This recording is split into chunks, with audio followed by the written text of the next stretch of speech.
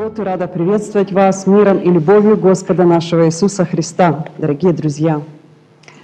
Я хочу продолжить начатую прошлую пятницу тему, которая является продолжением тех предыдущих тем, которые имеют общее название «это лидерский характер». По сути, речь идет вообще о характере как таковом. Потому что лидерский характер — это не просто удел избранных людей — нам нужно правильно понимать этот вопрос. Это то, что Бог хочет видеть в каждом из нас. Хочет видеть нас ответственными, умеющими принимать решения, умеющими отстаивать эти решения, идти до конца и при всем при этом быть управляемыми Богом, будучи смиренными перед Его величием. Прошлый раз мы начали исследовать тему, как лидеру, как управителю, как тому, кто имеет дело с людьми, оставаться в тесных взаимоотношениях с Богом. Другими словами, как сказал царь Давид, владычествующим в народе Божьем, как оставаться праведным. Это, эти слова были произнесены буквально на смертном одре, ну, буквально в конце его жизни, потому что этот вопрос волновал его. Я напоминаю то, о чем мы говорили в прошлый раз, для тех, кто забыл, и для тех, кто, может быть, впервые сегодня в нашем собрании и слышит эту тему. Как быть человеку, который постоянно сталкивается с проблемами человеческих характеров, с принятием решений – который является сам смертным, грешным человеком, как оставаться праведным или как стать праведным и как в конце концов быть спасенным. И царь Давид сказал, третий текст 23 главы 2 книги Царств. «И сказал Бог Израилев, говорил, говорил о мне скала Израилева, владычествующий над людьми будет праведен, владычествуя в страхе Божьем. По сути, чтобы быть праведным, нужно владычествовать в страхе Божьем. Что такое страх Божий? Мы очень часто встречаемся, как верующие люди, как христиане, как адвентисты седьмого дня, очень часто встречаемся с этим определением «иметь страх Божий». Это не просто бояться Бога, это даже не, не совсем точное выражение, если мы будем говорить «бояться сделать что-то неугодное пред очами Божьими», потому что здесь есть элемент страха такого, знаете, нашего человеческого. А здесь имеется в виду иметь страх Божий, это значит иметь вот это благоговейное отношение к Богу, э, в, такой, в любви к Нему – при этом, боясь обидеть Бога, боясь оскорбить Его святое имя, обесчестить это имя. Вот что значит иметь страх Божий. Но как же иметь этот страх Божий? Мы говорим об этом, но что это значит для нас? Другими словами, лидер будет одобрен Богом, его поведение, его выбор, его решение будут признаны Богом, если он будет поступать и жить по правде, будет праведным, если будет руководить в страхе Божьем. А что такое страх Божий, мы с вами уже определили. Это значит делать только угодное в очах Божьих в конечном итоге. Это исполнять Его закон – а что угодно Богу. Вот так, если мы отойдем от определения исполнения закона Божьего. Это соблюсти Его волю, а чтобы знать, в чем Его воля, надо знать Его характер, правда? Что из себя представляет характер Божий?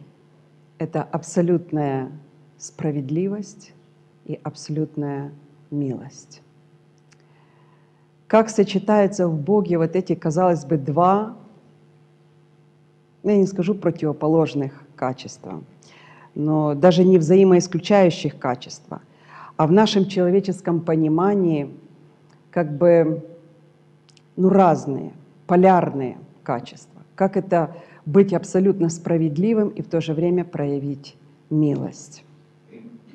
Мы с вами читали текст, 15 текст 88 псалма, который, в котором говорится следующее. «Правосудие и правота – это основание престола Твоего.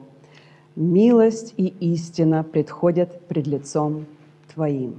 Милость и истина. Истина или справедливость, правда – это, по сути, синонимы одного и того же слова. В 98-м псалме, 4 тексте мы читаем «Ты утвердил справедливость».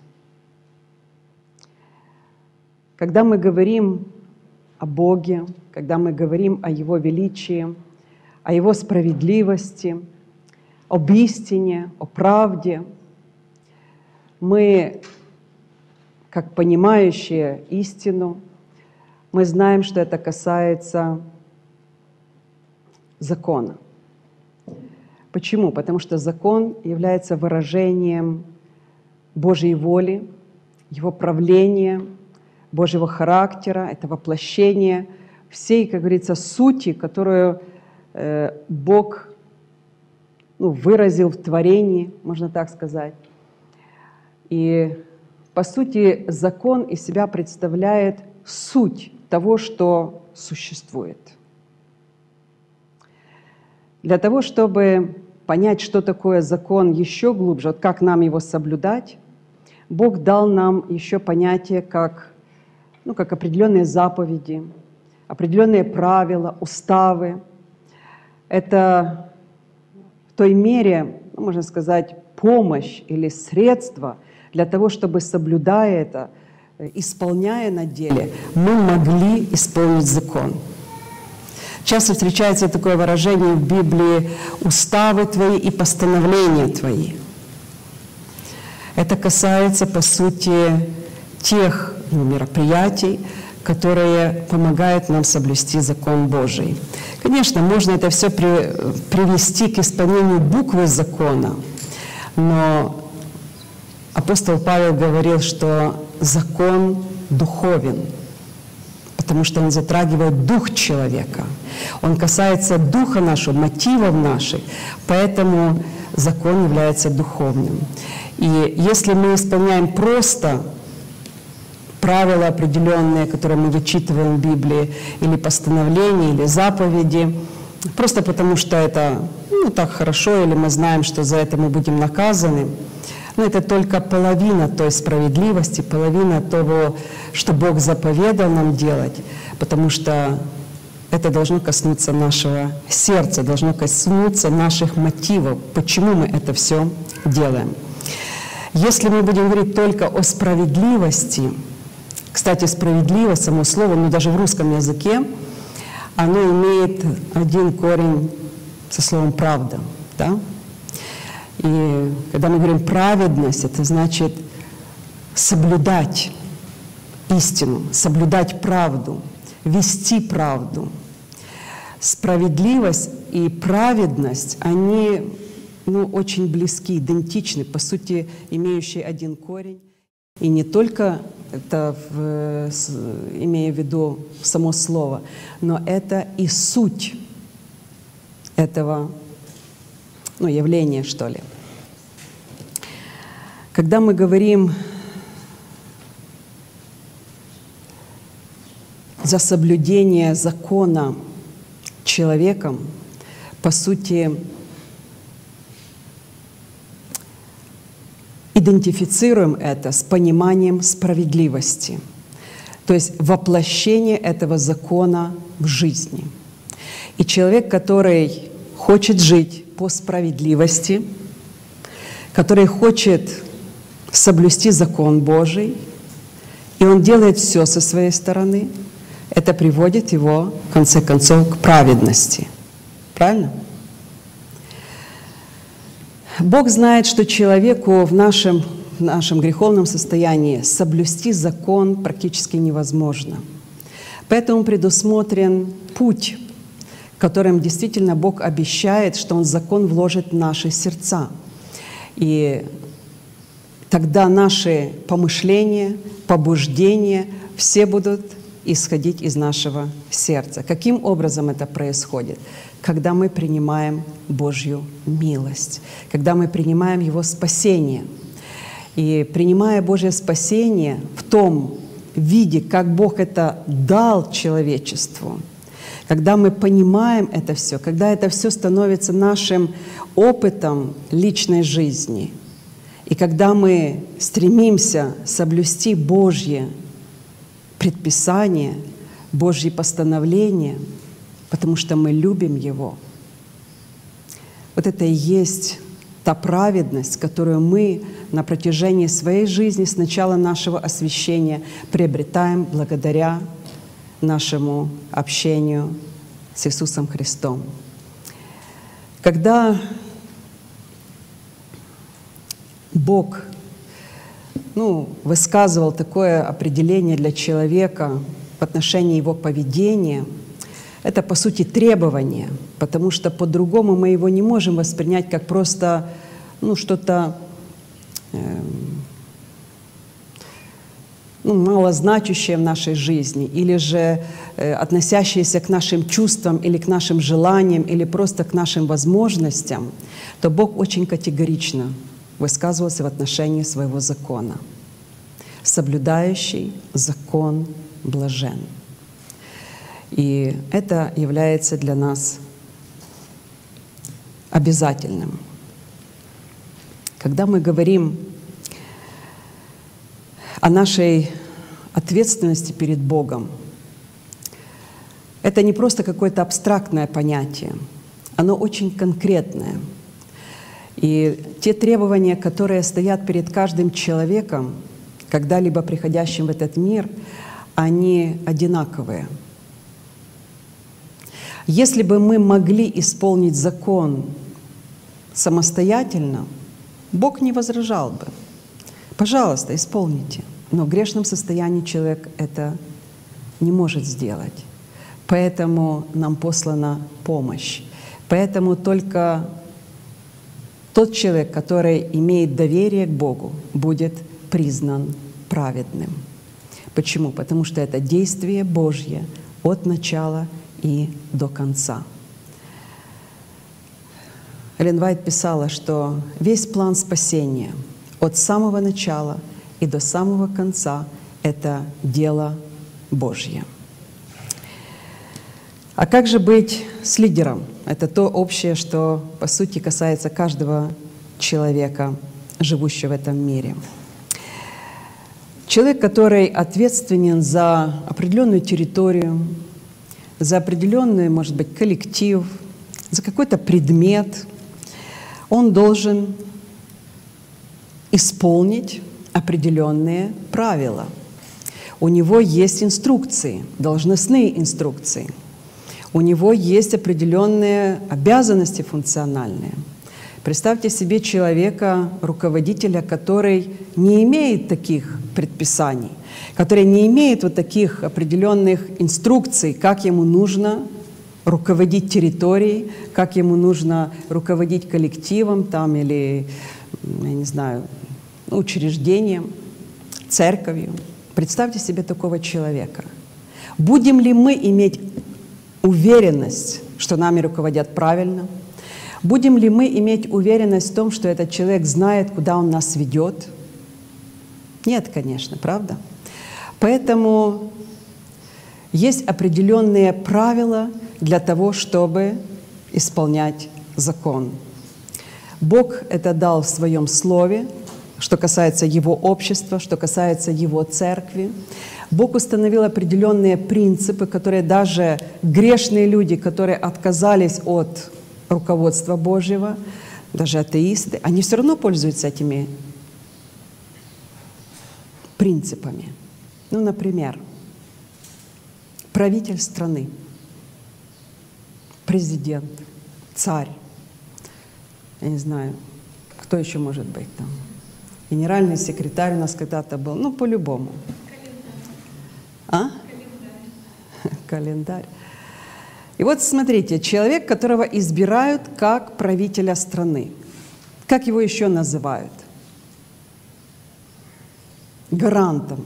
Но я только в этом году услышала такое слово по отношению к президенту страны. Гарант. Хотя люди в мире это давно уже понимают и знают, что это значит. В его обязанности входит очень многое. Самое первое – это быть гарантом Конституции, вот того закона страны, правда? Это принцип. Мы можем поучиться этому принципу, допустим, даже исследуя, как устроено государство. Конечно, потому что ничего другого люди еще не придумали. Все равно приходят к одному и тому же. Есть закон, его нужно исполнять, даже на нашем человеческом уровне. Я вспоминаю, когда вот у нас в стране начались вот эти э, все события происходить, и когда мы начинали молиться о том, чтобы у нас был ну, президент нормальный. И я, по-моему, уже рассказывала этот опыт, но я хочу его как бы в двух словах напомнить. И одна сестра позвонила мне с Германии и говорит, Анна Георгиевна, молитесь, чтобы пришел такой, такой правитель, чтобы он был чувствителен к Духу Святому. Ну хорошо, хороший был бы президент, если бы он слушался Бога. А с другой стороны, я начала размышлять над этим вопросом и думаю, подожди, он должен быть еще экономистом хорошим, он должен понимать, как, откуда деньги приходят, куда уходят. Как-то бюджет же нужно строить, чтобы человек был развит в этом отношении. Третье, чтобы он был хорошим политиком, чтобы он уважал другие страны, чтобы мир был везде, чтобы у нас ну, такая миротворческая политика была, чтобы всем было хорошо, не только нам, но и соседям нашим, потому что от этого же тоже зависит наше благополучие.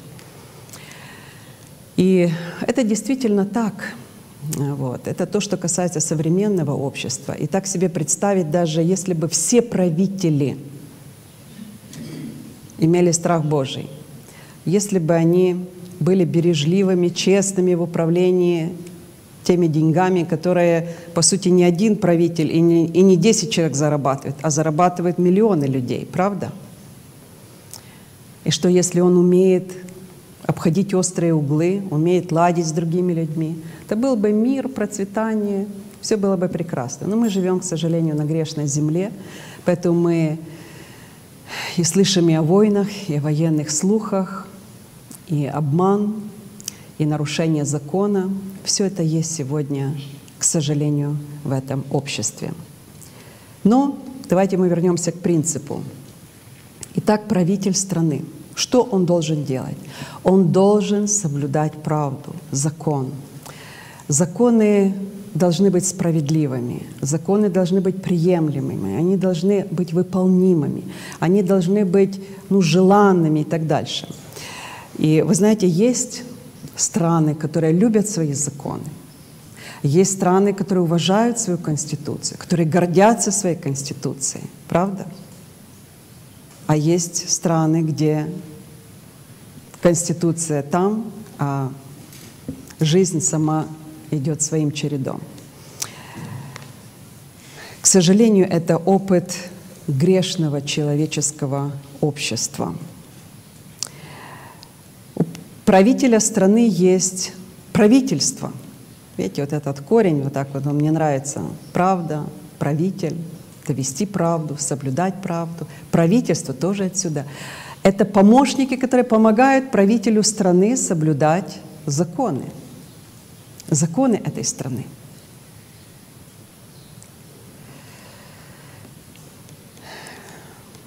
А что же касается правителя в теократическом обществе? Возьмите нашу церковь, возьмите церковное учреждение. Какие у нас должны быть принципы? какие наши должны быть лидеры, какие наши должны быть правители, как они должны относиться к справедливости Божьей. Я считаю, что только человек, который имеет настоящий страх Божий, имеет право быть руководителем на любом уровне в Божьем народе. Владычествующий над людьми – это тот человек, которому Бог доверил руководство с применением власти с целью спасения людей, народа его, через соблюдение его закона. Вот это суть руководителя в Божьем обществе. Это и пастор, это и администратор церкви, это и руководитель учреждения, это и родители, это каждый член Божьего общества. Каждый должен быть на своем месте. Каждый должен в меру своих сил, возможностей, стремлений быть справедливым, вести Божью правду, быть праведным. Праведность — это исполнение истины, правды Божьей на деле, в жизни, практически, каждый день, в любой ситуации. Это, во-первых, быть честным, это быть прилежным в исполнении своих обязанностей, это бережливым быть, это умеренным во всем, где-то гибкость проявить, где-то давление, где-то попустить что-то.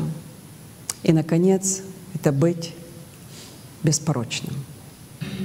Это пять качеств, которые принесут успех в управлении.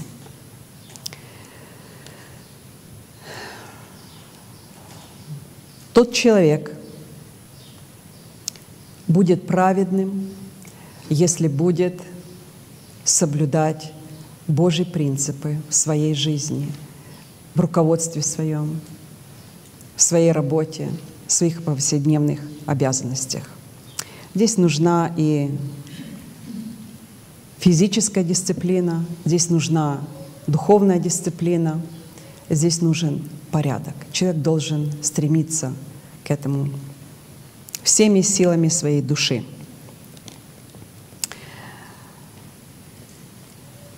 Отступление в церкви начиналось не сразу.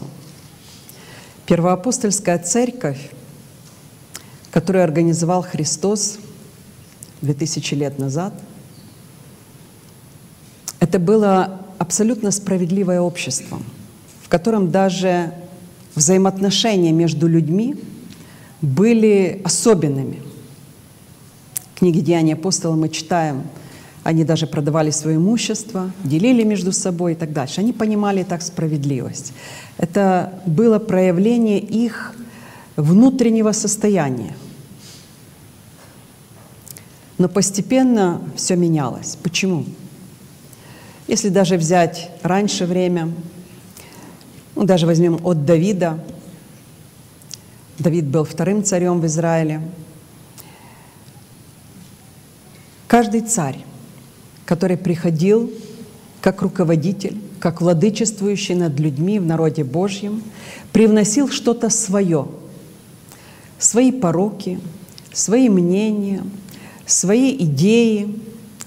И все это постепенно разрушало ту твердыню, которую создал Бог. Бог хотел, чтобы его церковь стояла как скала в этом мире, чтобы его народ был примером для всех окружающего народа. Но мы знаем, что были падения, были отступления. Периодически приходили те цари, которые пытались в своей личной жизни, а также в жизни общества все поменять и опять стать на рельсы справедливости, исполнения закона Божьего. Тогда происходили реформы, Тогда было истинное возрождение, тогда общество Божье начинало меняться. Какой мы вывод можем сделать из даже истории народа Божьего? самым надежным ориентиром в поведении человека, лидера в первую очередь, владычествующего над людьми, это соблюдение воли Божьей. Давид понимал все это, и потому высказал вот те наставления, которые мы с вами читали в третьем тексте 23 главы,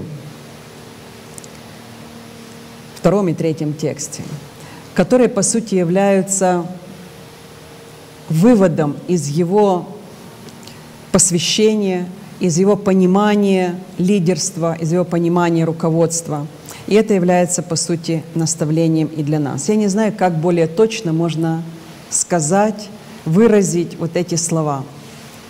Владычествующий над людьми будет праведен, если будет владычествовать в страхе Божьем. Ну, до сих пор мы говорили с вами о справедливости. А как же милость?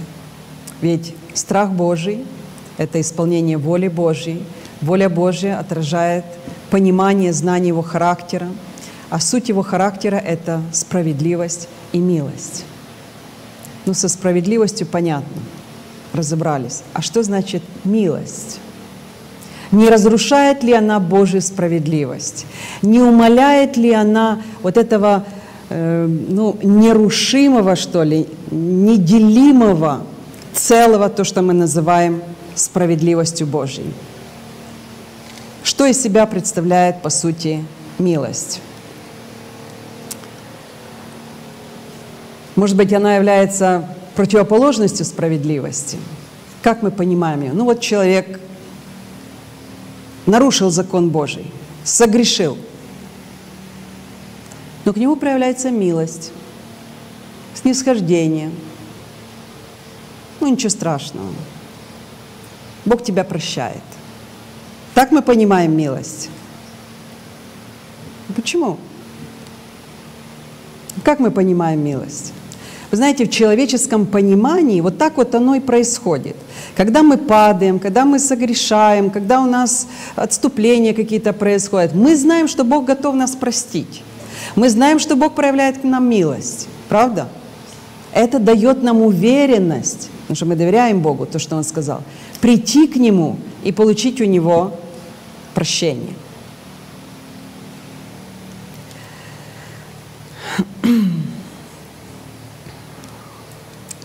Вы знаете, мы очень часто применяем в этом вопросе свое личное суждение, которое касается понимания Божьего характера.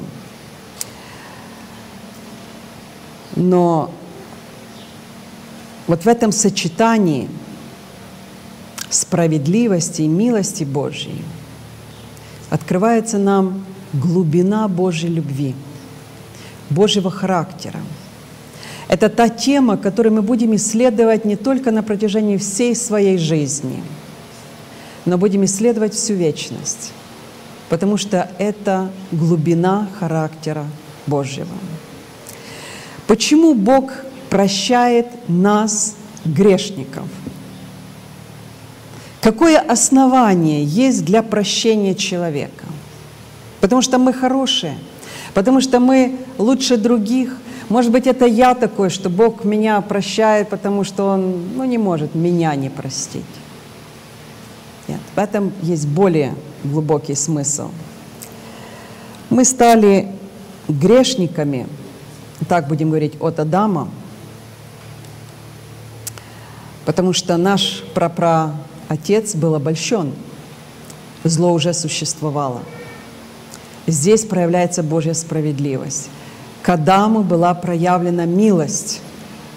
Человечеству был дан еще шанс. Мы рождаемся в этот мир и становимся грешниками не по своей воле. Мы приходим в этот уже грешный мир. Тот же Давид говорил, во грехе что?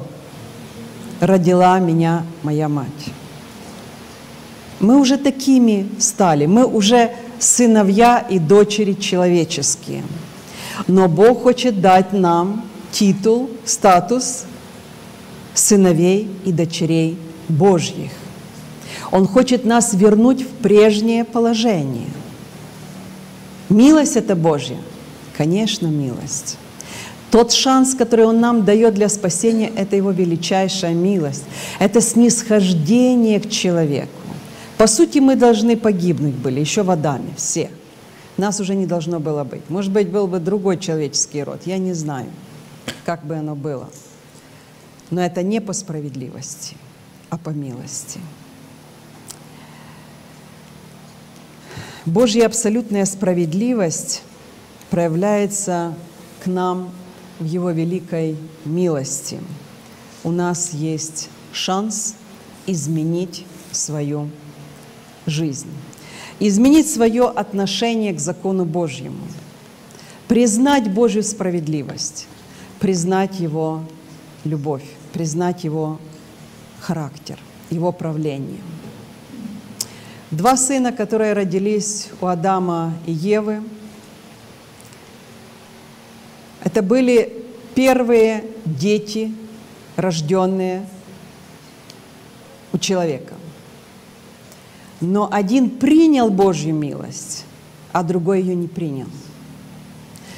И Каину казалось, что он абсолютно справедливо обижается на Бога, потому что им приходилось тяжело работать, им приходилось ожидать Спасителя, им приходилось жить в неизвестности, а что потом будет.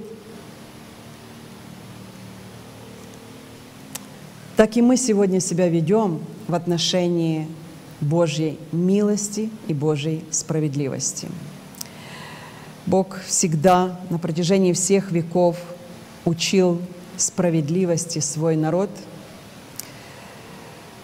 Каждый человек, нарушающий его закон, должен был быть наказан,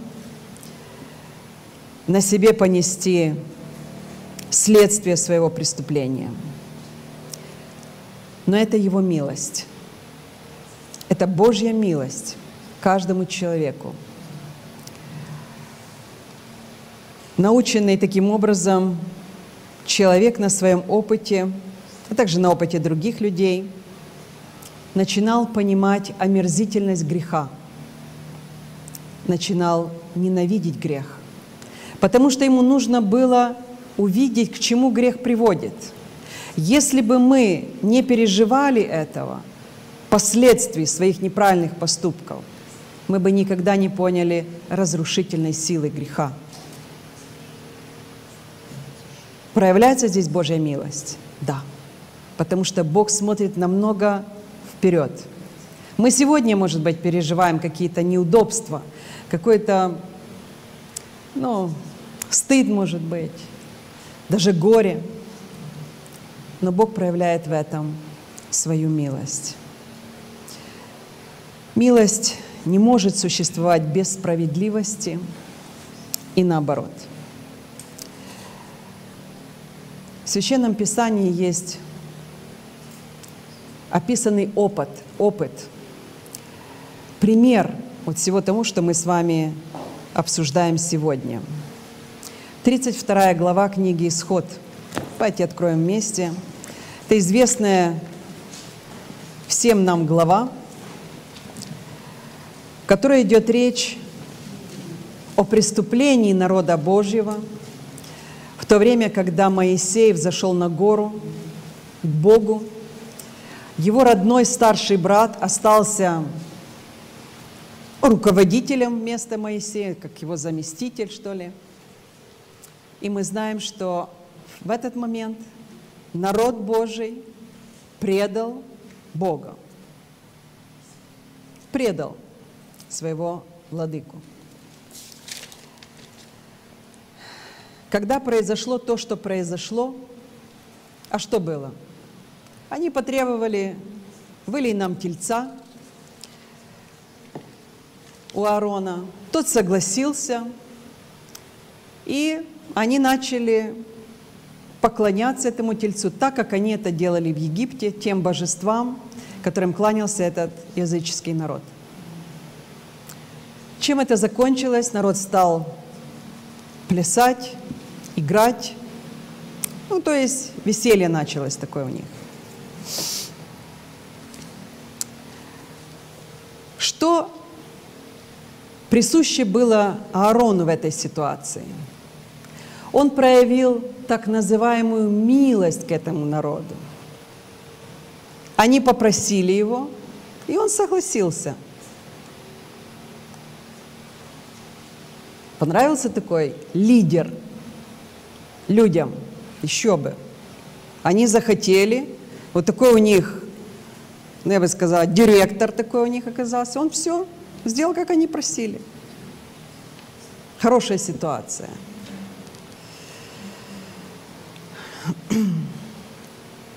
Но такая милость называется ничем иным, как человекоугодничеством. Он пытался угодить людям. Я не думаю, что он проявил эту инициативу. Так не сказано в Священном Писании. Он пошел на поводу. И чем это закончилось? Вообще, что такое человекоугодие? Это, по сути, лицемерие – потворство людям и скорости быть угодным людям и скорости для себя. Так сказано в словаре. Понятно, да? Нам надо различать истинную милость и человекоугодничество. Вы знаете, когда нами руководит именно вот такой э, мотив – угодить людям любой ценой, мы можем предать Бога, как Аарон. И когда Моисей сошел с горы, он услышал это все. Что он сказал? Что сделал тебе народ сей, что ты ввел его в грех великий? 21 текст, 32 главы книги Исход – что сделал тебе этот народ, что ты ввел его в такой великий грех? Аарон, а что я сделал? Я ничего не сделал. Вот, вот так вот оно получилось. Телец как-то получился. Ну, люди веселятся. Что здесь такого? Он проявил предательство по отношению к народу. Бог поставил временно его исполняющим обязанности Моисея, руководителя народа. Он должен был охранять, бдительно охранять его духовность, его ну, духовное состояние, его физическое состояние, чтобы этот э, народ не пал, чтобы он не погиб, а он пошел у него на поводу – знаете, именно из вот этой личной корости быть угодным любой ценой людям, люди совершают непоправимые ошибки. Мы становимся терпимыми к греху. Мы испытываем дискомфорт. Вот так, если мы пошли на поводу где-то у кого-то, мы испытываем какой-то, ну почему я ему не сказал? Ну мне так неудобно ему это сказать. Ну как это ему сказать? Я буду за него молиться. Там, там раз помолился, два помолился, тот не исправляется. Ну что я могу сделать? Ну, я не могу ему ничего сказать. И часто мы, по сути, предаем этих людей. Дух пророчества говорит, что мы жестоко поступаем по отношению к своим собратьям, если мы потакаем греху, который они совершают. То же самое касается наших детей. Когда мы не замечаем в них вот эту склонность к греху и ничего не делаем, когда мы позволяем им делать то, что они хотят, видим, что они заходят далеко, ну, вырастет, поймет, ну, когда-то образумится, ну, буду молиться за него. Друзья, Дух Пророчества говорит, что мы самые жестокие люди по отношению к своим детям. Это не милость это угодничество, человекоугодничество. Именно поэтому Моисей сказал, что сделал тебе этот народ, что ты ввел его грех великий. Он фактически обрек Аарон, обрек этот народ на наказание, на гибель, на предательство. Моисей же был праведным и он сделал угодное в глазах Божьих. А что же он сделал? Давайте мы прочитаем.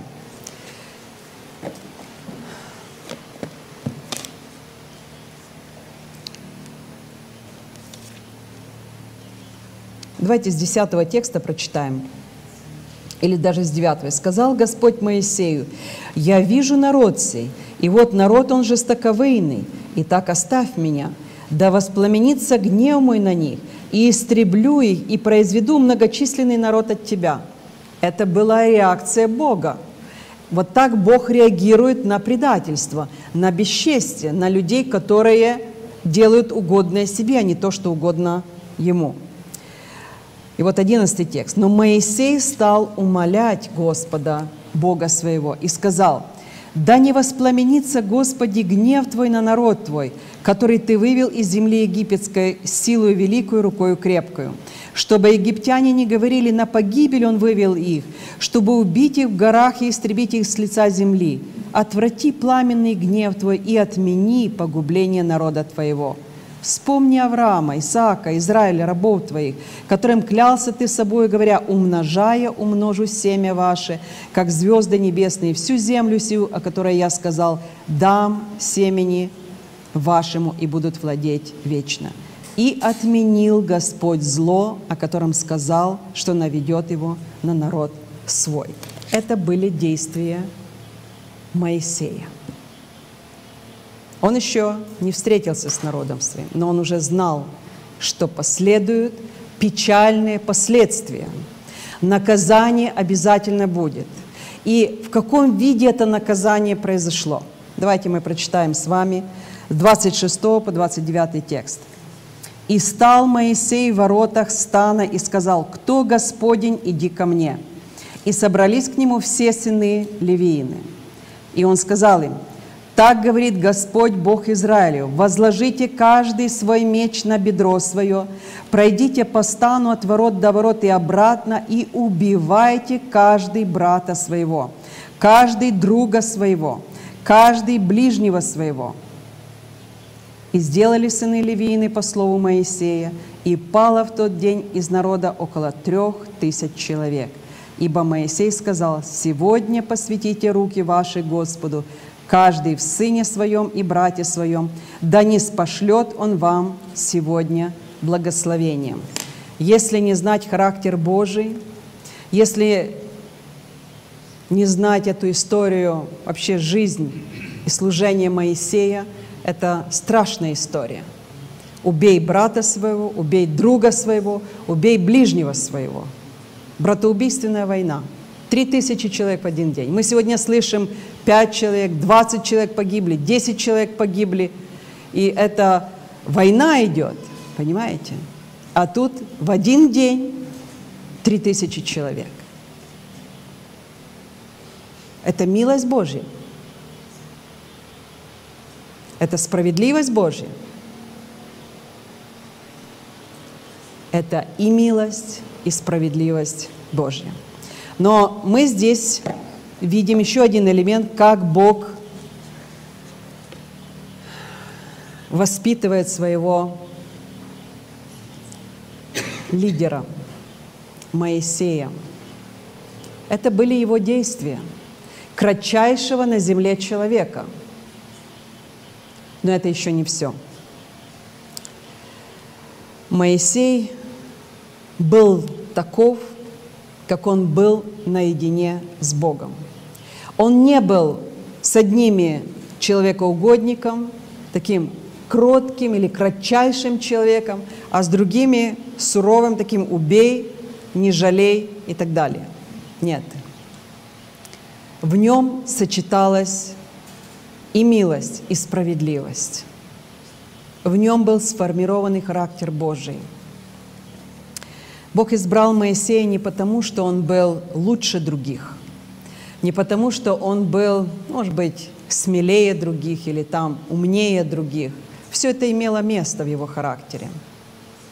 Но Бог избрал этого человека потому, что он понимал волю Божью, что он имел страх Божий – Он понимал суть справедливости и суть милости.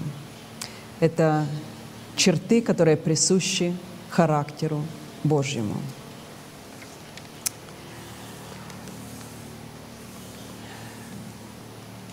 Мы с вами в прошлый раз вспоминали о юности Давида. Характеру Давида была присуща мягкость. Это настолько был мягкий человек, даже в его поведении с детьми мы видим его ошибки, правда? Но с другой стороны, это был очень твердый человек, который, когда касалось имени Божьего, Божьей чести, он был тверд, как скала. Он совершил в своей жизни тоже ошибки, как любой грешный человек, но мы знаем финал его жизни. Мы знаем величайшее его покаяние. И в этом покаянии выражено понимание, его понимание характера Божьего – да, он будет нести наказание. Он говорит, я не отвергаю наказание. Я буду нести его, Господи. Даже испытывай меня, наказывай меня, но не наказывай во гневе своем, потому что я знаю, что Ты милостивый Бог. Я хочу быть похожим на Тебя. Это жизнь Его выражала во всей целостности Его стремление его сердца.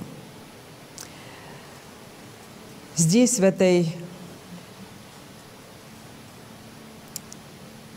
цитате, в 23 главе, с которой мы с вами начали исследование нашего, нашей вот этой темы, 2 Царств, 23 глава, выражен уже итог его жизни – с учетом всех тех ошибок, всех тех проблем, которые он пережил в своей жизни.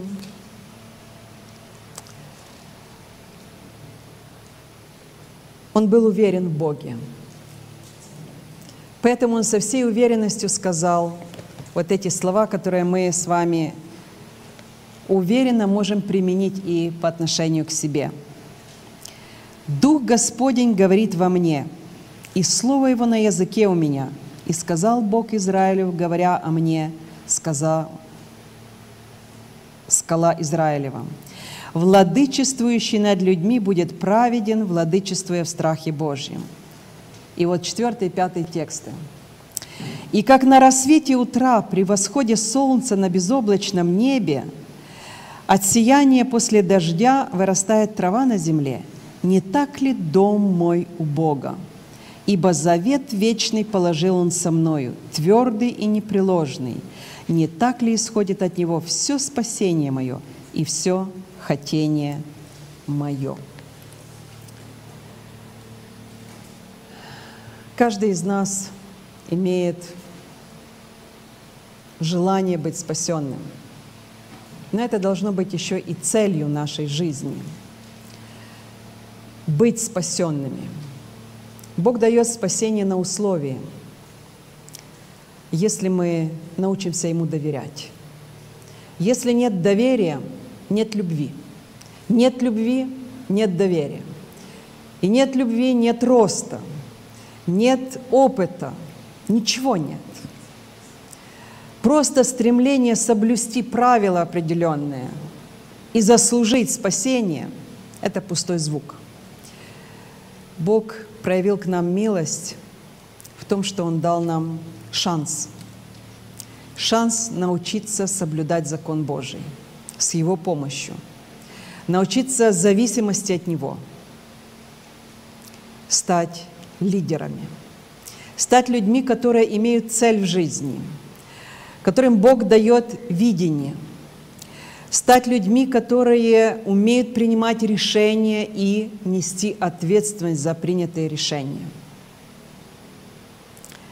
Бог хочет сделать нас людьми, которые умеют мыслить самостоятельно, умеют отстаивать свое мнение, которые имеют страх Божий которые посвятили себя полностью Богу, которые хотят только одного в своей жизни, чтобы эта воля была и на земле, как на небе. Поэтому мы сегодня с вами не просто живем, не просто работаем, не просто выполняем какие-то повседневные обязанности. Мы учимся служить. Может, кому-то это больше удается, кому-то меньше. Бог хочет видеть в нас личность, в каждом, независимо от нашего возраста, независимо от нашей внешности.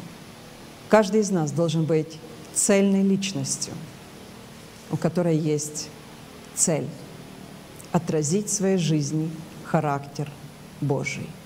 Это и есть лидерство, настоящее лидерство.